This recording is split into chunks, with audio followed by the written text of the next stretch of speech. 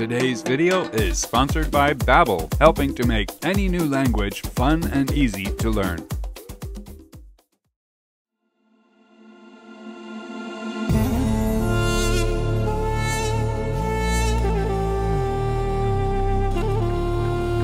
Ahoy, everyone, and welcome to SSL episode 669. In our last episode, you'll remember that we brought you to the spectacular San Blas Islands of Panama. The San Blas is an archipelago comprised of 365 islands and surrounded and shrouded by just as many reefs to make navigation a real treat if you're not prepared. The San Blas are located at the north end of Panama, about 60 to 70 miles east of the Panama Canal, or about 50 miles west of where we started in Portobello. These pristine islands islands have become a haven for ecotourism, there are lots of boats doing charters in the area to introduce travelers to a much more simple and sustainable life in a very remote location. In fact, the only inhabitants of these islands are the Kuna Indians. They used to live on the mainland, but when the Spanish invaded, they pushed the Indians out and the Kunas all fled to the remote islands where they still live to this day. The Kunas always maintained their own native language, but nowadays you'll find most of them are fluent in Spanish Spanish. I wish I could say the same, but with the help of today's sponsor, I'm working on it. But we'll get to that in a minute. First, we are just about ready to leave Chichime. We had one quick appointment to meet with some guys that came over from the mainland to purchase one of our old sails. We have two brand new Genoas now, so time for the oldest one to go. Helps out these guys, and good for us too, because it gets over 100 pounds out of our bow locker. Nice. Once we wrap things up here, we'll be on our way to take our crew for a last little tour through the islands as they're leaving tomorrow. We're going to sail down to Green Island, and tomorrow morning there's a water taxi booked to pick them up and take them back to mainland. So that's our plan for the day.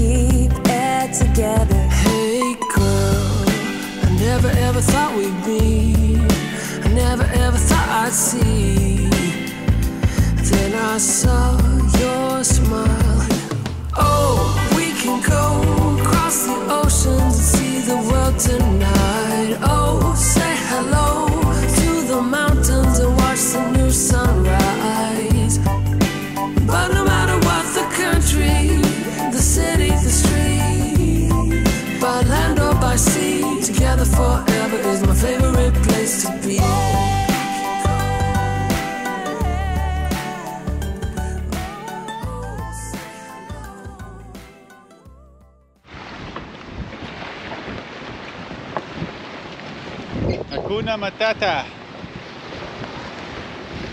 Hakuna, like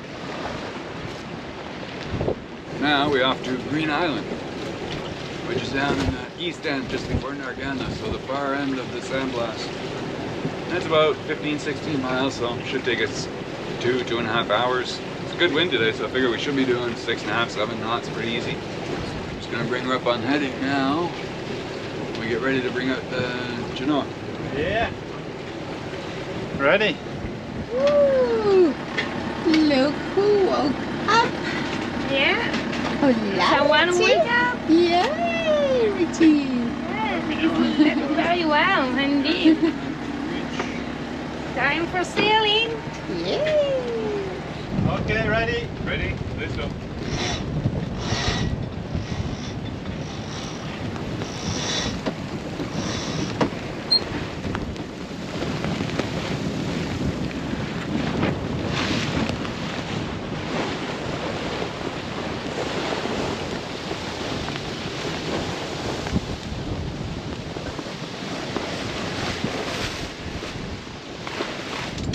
Yeah, Wow. hey, hold on, Richie, we sailing.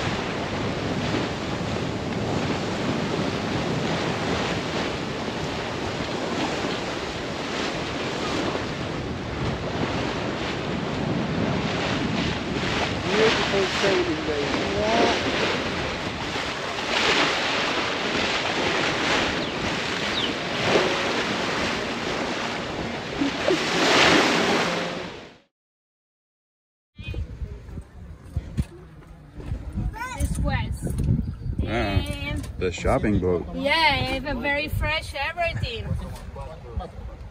Nice. Yeah, That was lucky. mm, very lucky. Yeah, everything looks good. Yes, you'll find in San Blas this is the most exciting part of almost everybody's day because you never know when or if the veggie boat is coming next. And I must admit, this is one of the few times when I really feel at a loss for language, which is why I'd like to stop for a minute and talk about today's sponsor, Babbel. Mandarina. Yummy, huh? So I've been traveling in Latin America for a while now, and some of you likely remember that I met Madalena on my tours in Mexico. This is Maddie. Madalena. Hi! New crew from Italy. In fact, I brought her on board to be my translator for our next travels in Cuba. Se amarra la boya y no problema. Okay, it's possible only one. But of course, when you have a translator on board, you tend to get lazy and not really learn the language of where you are. So sooner or later, you start to realize that, hey, it's time to start learning. I remember that moment came recently for me when Richie started becoming more mobile and Maddie started yelling, Basta, basta! And I was like, I said, Maddie, you can't call him that in public or people are going to be offended. She said, Call him what? I wasn't calling him anything. I was just telling him to stop, stop. And that's, of course, when I learned that basta is Spanish for stop. What I found different with Babbel is that you immediately start learning in a conversational manner. The software is easy to use. Just boot up the app, sign in, and you're good to go. So you can go directly to the website if you want to work from there, but the app is incredibly easy to use. You can see here I'm working on Mexican food, Me gusta la comida mexicana, or I like Mexican food. And then you can switch over to Explore where you find audiobooks, games, anything you want in the language of your choice. At the top, you can switch over to see all courses that are available. There's even a live section where you can engage in a course with a real teacher. El vestido negro es hermoso. The black dress is beautiful. Yes. I've really been enjoying using this app, and I think you guys are going to like it too, because I'm pretty sure some of you would like to learn another language. Obviously, I'm learning Spanish, but I'd be curious to know what language you guys might want to learn. Leave your answer in the comments below. So for those of you that might want to give it a try, I'll leave a link in the description that will give you guys a 60% discount on your first subscription. And that, my friends, is a very good deal for something that's going to improve your life. So with that, let's get back to the video. Next morning, it was 6 a.m. sharp, and the water taxi arrived to take Sandra and Andres off to their next adventure. And we get set to enjoy a couple days by ourselves before our next group, Ruby, arrives back at Chichime. Ciao, amigo. Okay. Ciao, Rino.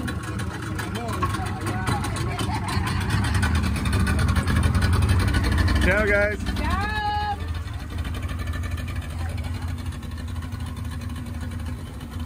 Off into the sunrise. Yeah. Sunrise. The moon is gone this moment. Yeah. Nice. All right. Okay, Captain. On to the next adventure.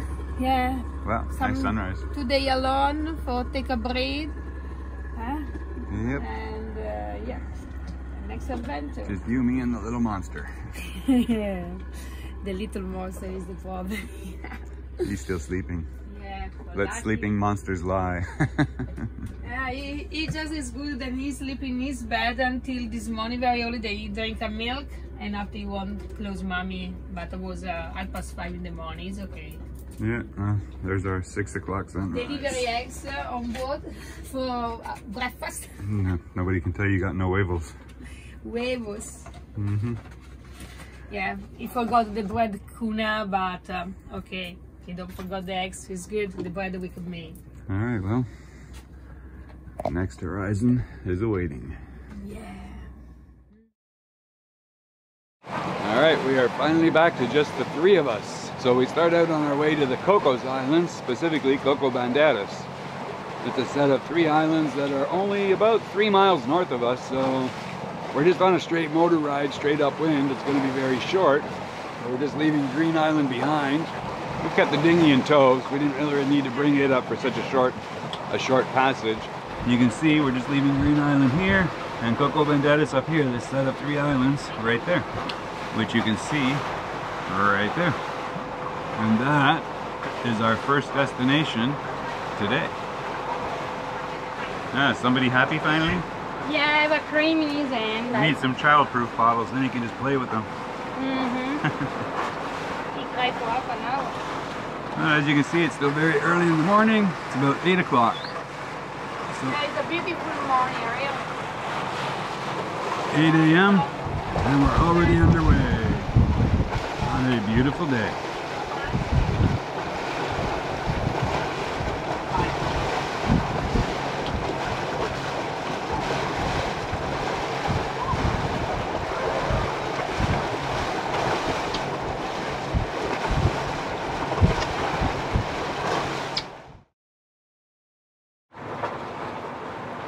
Okay, we entering Cocos Islands. And it's tight. there are reefs on all sides.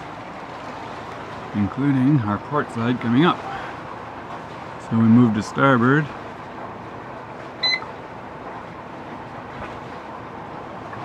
It's shallow.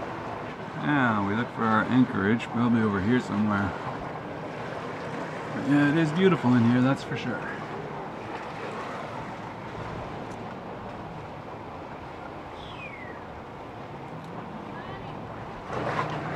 13 feet. I need to get back to the wheel.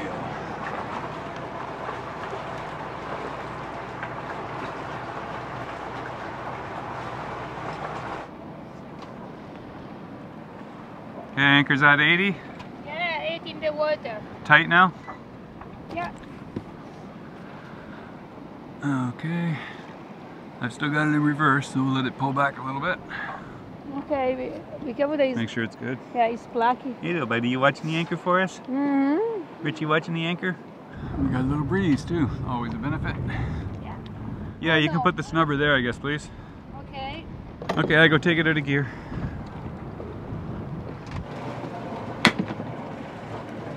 But yeah, we're probably only going to be here for half the day. Okay. Yeah, we're probably only going to be here for half the day, so I'm not going to set the anchor too hard. We're just going to stop, visit, and then head up to Hollandaise, I think. And that's where we'll spend the night up in Hollandaise Keys. But we'll see. Plans change, you never know. For now, quite happy to be here. It's beautiful. Thumbs up, Coco Banderas.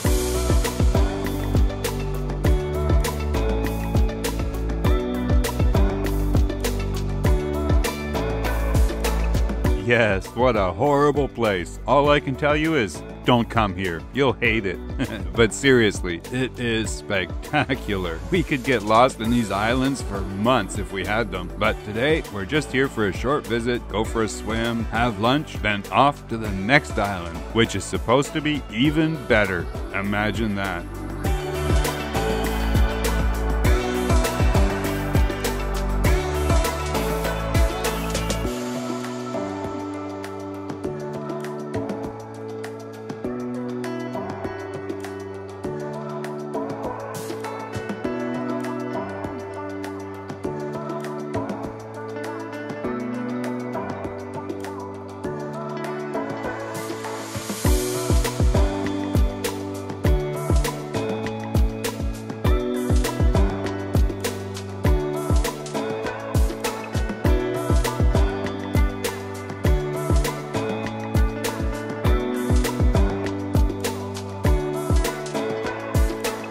That was a very nice stop in Coco Banderas back there. And now we're in the next stop, same day, two stops, one day. We came up to the East Hollandaise Keys, where the home of the swimming pool and barbecue island. So we're just checking things out, doing a quick scope around before our next crew arrives tomorrow. But yeah, look at this. This is spectacular. Wow. Even got a tall ship on the horizon and a mega yacht. Beautiful. Very nice.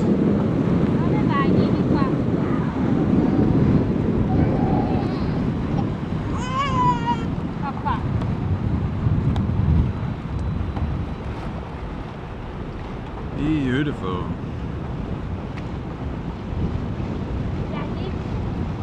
Old school right there. Look at that. That's spectacular. And the monster. Yeah, he want to walk And the up- screaming monster. the. Yeah, always wants to play on the solar panel. Yeah. Nice, nice, but you don't need to walk in up all the time. Beautiful area. The swimming pool. Yeah, you can see lots of waves breaking on the reef outside.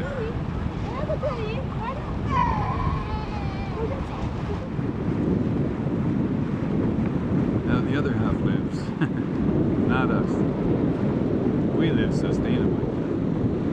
That is not sustainable. Might be attractive to some, but it is certainly not sustainable. What do you want? Guinea pig. Now this, that's more sustainable. Might not be attractive to some, but yes, it's much more sustainable. Subtle lessons in life. Very cool.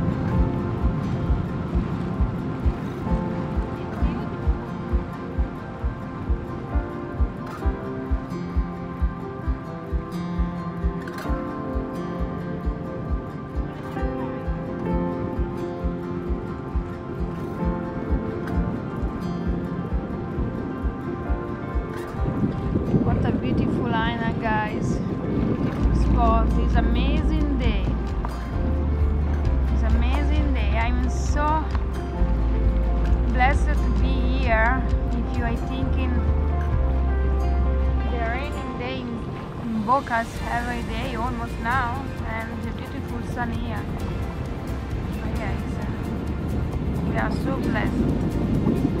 Blessed.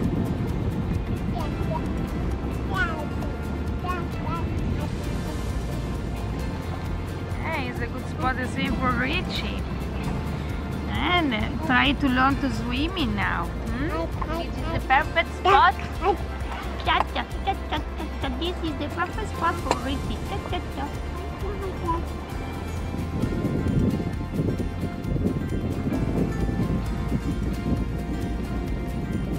How is deep here, the cap captain? Here is 37 feet. There, 3 feet. Mm-hmm. Very big difference.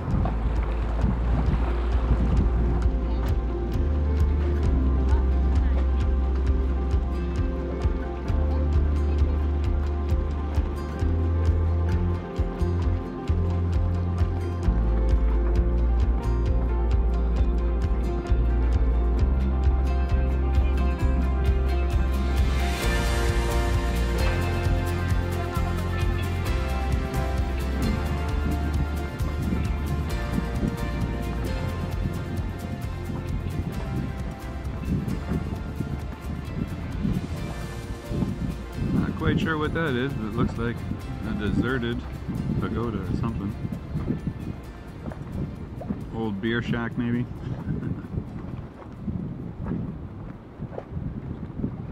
but beautiful little island out on the reef. Nice area.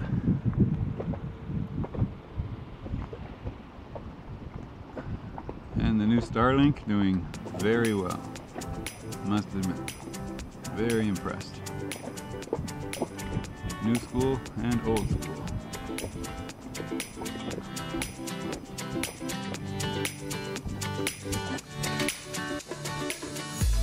But yes, this is by far one of the favored places in the San Blas Islands, the Hollandaise Keys. And this specifically is the East Hollandaise Keys, where just up on the left you'll see the area they call the swimming pool and Barbecue Island, a very popular stop for cruising boats and charter boats alike. There is literally a ton of small islands in this area, so whether you want to be close to the action or far, far away, you've always got options. Anyway, I thought you guys might like a little tour of this spectacular area, so sit back, relax, and enjoy. And don't miss the next episode when you'll meet our new crew, Ruby. Thanks again for watching, everyone. Have a great day as always. Stay free, and we'll see you out there.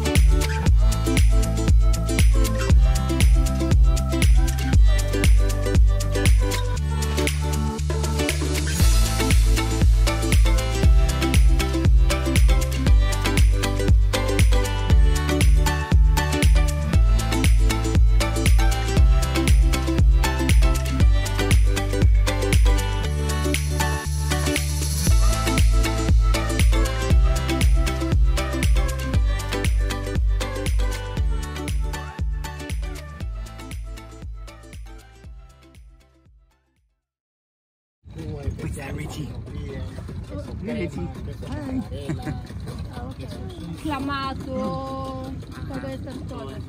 Ok, perfecto. Algunos piden arroz especial, algunos piden arroz de sushi. Oh, ¿de verdad? Sí, ¿Tú, tú arroz de sushi? Eh, yo le voy y le consigo Ok, vale. eso. Y, y ahí vamos. Ok, te voy escribiendo y tú me dices lo que encuentras.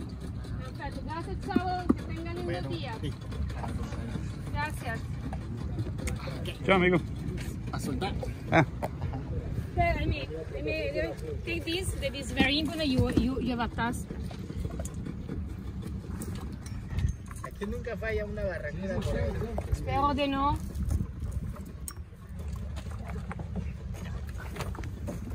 Gracias, Juan. ¿Cómo no? Que tenga un lindo día. Sea igual. Muchas gracias, caballeros. Bueno, chao.